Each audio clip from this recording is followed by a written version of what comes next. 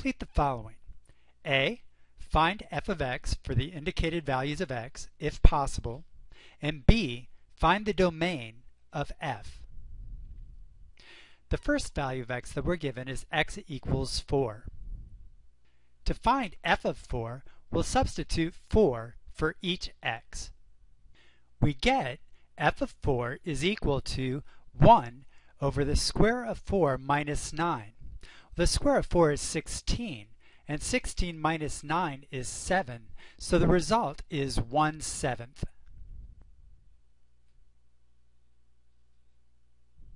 The next indicated value of x is the expression a minus 5, so we'll need to substitute that expression for each x.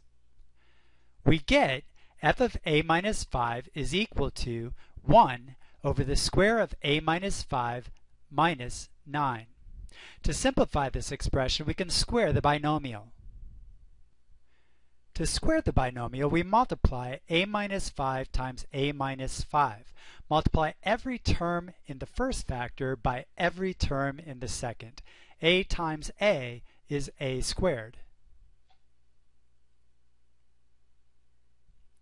a times minus 5 is minus 5a. Minus 5 times a is minus 5a. And minus 5 times minus 5 is plus 25. So the square of the binomial is a squared minus 10a plus 25. Substituting a squared minus 10a plus 25 for the square of a minus 5 gives us 1 over a squared minus 10a plus 25 minus 9. We can combine the two constant terms. 25 minus 9 is equal to 16. So the end result is 1 over a squared minus 10a plus 16. For part B, we're asked to find the domain of f. The domain is set of all the valid x values that we can substitute into the function.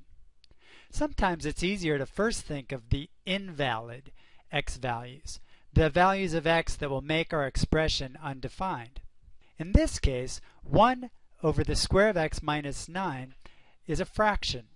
Fractions are undefined when their denominators are equal to 0.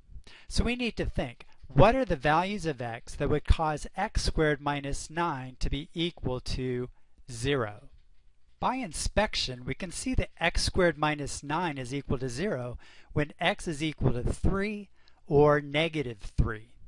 The square of 3 is 9, and 9 minus 9 is 0.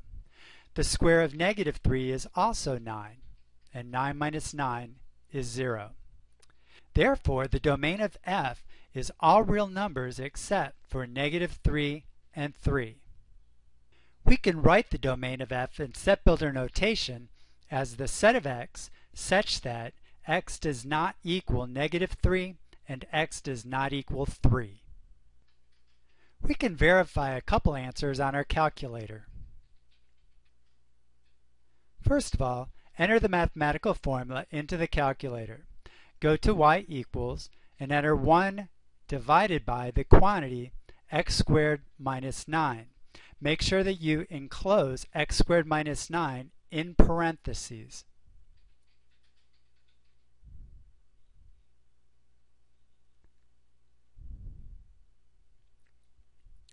Now we'll go to the home screen. Press second and then mode that quits and takes you to the home screen. Now on our calculator, the name of our function is y1 rather than f. So to evaluate f of 4, we'll go to variables, V-A-R-S, move over to y variables using our right arrow key, select function, and then y1. We want to find y1 of 4. So we put parentheses and then the number 4 and end parentheses, y1 of 4. We press enter. It gives us a decimal value. To convert that decimal value to a fraction, we can go to the Math menu, select option number 1, Convert to Fraction, and then Enter, and it gives us the fraction 1 7th, which matches our first answer in Part A. For Part B, we can verify our answer by making a table of values. Let's go to second window, which is table set. And we've determined that the domain is all real numbers except for negative 3 and 3. So let's start a little bit to the left of negative 3 on the number line. Let's start at negative 5 and increment by 1 and see what happens. Make sure that the independent and the dependent variable are on auto. And then go to table, which is second graph. Notice at negative 3 that there's an error message.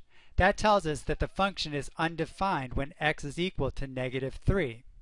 At all the other values of x, there's some numerical result for y1.